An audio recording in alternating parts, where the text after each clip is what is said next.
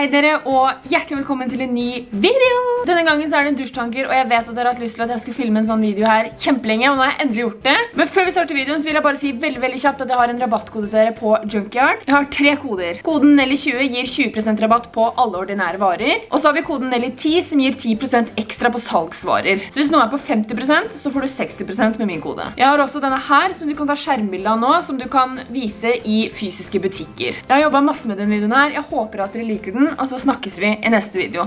Ha det!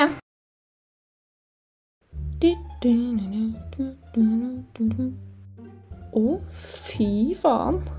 Hadde jeg bare børsta håret mitt, så hadde jo aldri det her skjedd. Shake, shake, shake. Faen hadde klør, da. Altså, det her stakkars, stakkars håret mitt. Au, au, au, au, au, au, au, au, au, au, au, au, au, au. Å, fy faen, så fett. Det her kan man jo lage sveis av. to me. Grease the lightning. Da, da, da, da, da, da, da, da. Grease lightning, oh. I'm your father. And hello, it's mommy. Ooh, talk to me. Yeah, kanskje man skulle dusja, da.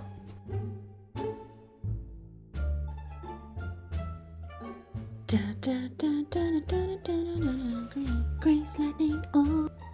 Uh, lastebil som rygger.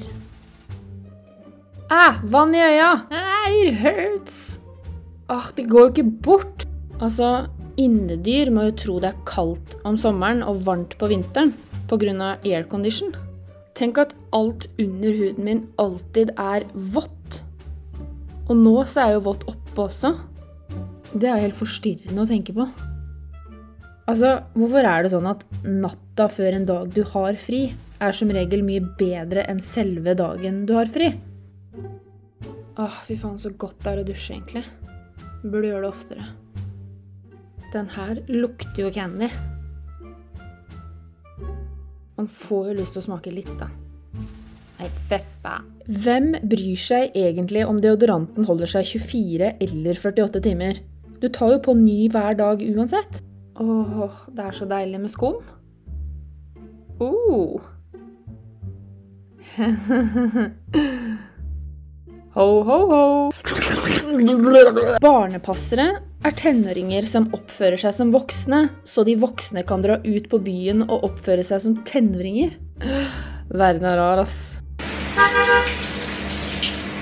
Livet til en som røyter, alltid hår i rumpa. Å, fy faen! Å, herregud, jeg kommer til å miste håret! Gå og legg deg, du vil føle deg bedre i morgen, er den menneskelige varianten av har du prøvd å skru den av og på? Får prøve å farge håret litt mer rosa, da. Og ungen i barnehagen bare Hvorfor er det sånn lyse striper også? Mi, mi, mi. Ja, får bare prøve å få ut det siste oppi her, da. Ja, det funka to av ti. Temaparker klarer å ta et klart bilde av deg i en berg-og-dal-bane i 100 km i timen. Men banker klarer fremdeles ikke ta bilde av en raner selv om han står stille. Ops. Åh, elsker sånn her såpe. La det svinge, la det rocken. Herregud, jeg husker da jeg var liten, så ble jeg alltid fortalt av de voksne at jeg ikke måtte tro alt jeg så på TV. Men nå så er det jo vi som heller må lære de at ikke de kan tro på alt de ser på Facebook. Herregud, som tida forandrer seg. Whoop! Ok, det var flaut. Nå legger vi farger på bilder fra gamle dager, men i fremtiden vil vi fjerne filter på bilder fra nåtiden. Altså, den generasjonen her. Jeg er jo en romantisk person. Er ikke det litt hyggelig å forme et hjerte til neste gang han skal dusje nå? Med håret mitt? Er det ikke det? Nei. Nei, fy faen. Jeg har våkna opp sikkert 10 000 ganger, men jeg blir jo aldri vant til det. Det burde jo finnes noen piller mot bedre oppvåkning. Altså, nå når jeg tenker over det. Når en bedrift tilbyr en bedre avtale når du ringer inn for å kansellere, er det jo bare de som innrømmer at de har bedt om for mye penger. Julaften er mer en deadline enn en ferie. Herregud. I mange år har jeg trodd at jeg var stygg, men jeg er egentlig bare ikke min type. Folk som ser bra ut, men har en forferdelig personlighet, er egentlig bare en real life clickbaiter. Å, herregud, er jeg det?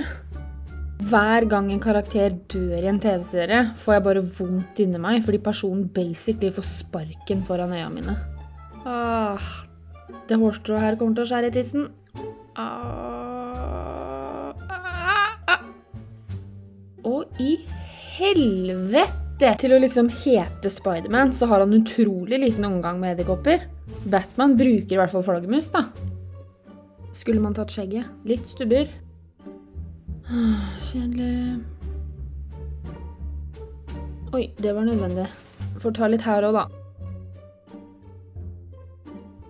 Vi har null problem med å bruke et par sokker en hel dag. Men i det sekundet vi tar dem av, er det ekkelt å skulle ta de på igjen. Veldig merkelig. Ah, altså, jeg får skrumpehender så fort. Herregud!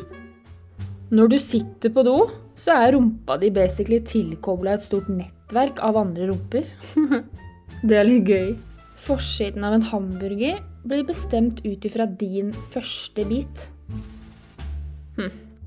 En dag vil vi slutte å assosiere gamle mennesker med svart-hvitt-bilder. Ser for meg mitt barnebarn som får se bilde av meg som tenåring. Emohår og trutemunn og sånn. Ja, det var jo noe annet enn de nattkjolene de gamle brukte. Mennesker har landa på månen. Men vi blir allikevel fascinert over frostrøyken som kommer ut av munnene våre på vinteren. liksom. Jeg er så glad jeg ble født da jeg ble født, og slapp å engste meg over alle filmer og bilder av meg selv på internett fra da jeg var liten. Når du er deprimert, husk at du har millioner av celler inni kroppen din, og alt de gjør, er å bry seg om deg. Og så har vi meg her som prøver å vinke og si tusen takk for at du så på videoen min, og at jeg er veldig takknemlig, og nuss, nuss, nuss til dere. Og husk å gi videoen en tommel opp hvis du likte den. Takk for at dere støtter meg. Ha det!